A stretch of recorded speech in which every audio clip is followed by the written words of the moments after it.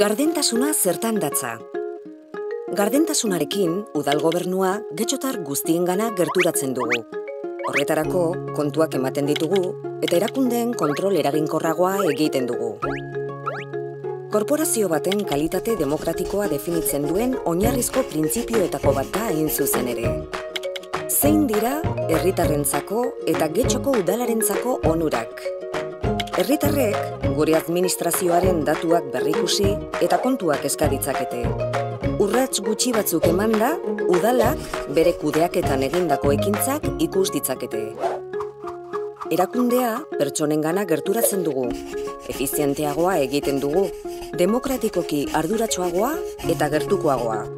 Gardentasunez zaritzeko konpromisoarekin, udala herritarrengana gerturatzen da, bere kudeaketa askoz ere hobeto ezagutu dezaten.